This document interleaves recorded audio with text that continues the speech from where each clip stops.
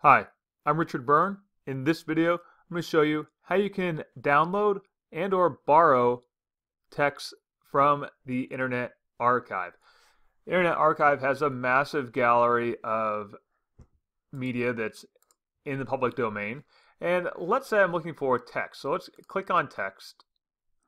And a lot of Robert Frost work just entered the public domain on the first of this year. So let's see what we can find.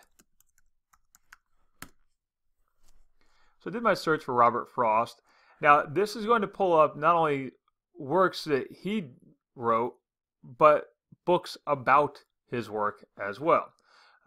So you'll see some things like this one here, which says borrow. If you click on the borrow button,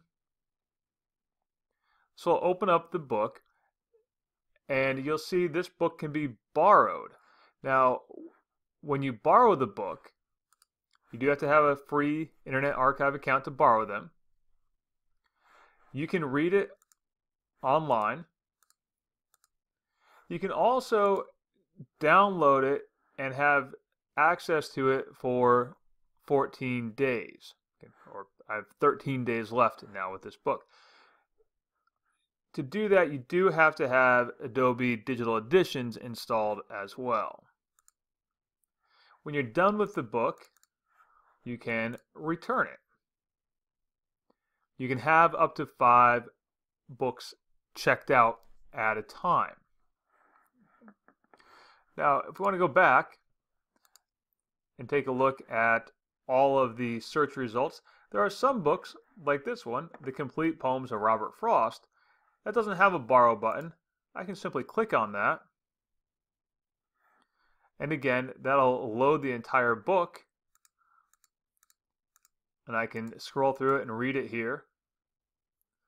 And then down here on the bottom right corner of the screen, you can see I have a variety of options for downloading the book, including in Kindle format and PDF format and EPUB format, or as a full text file.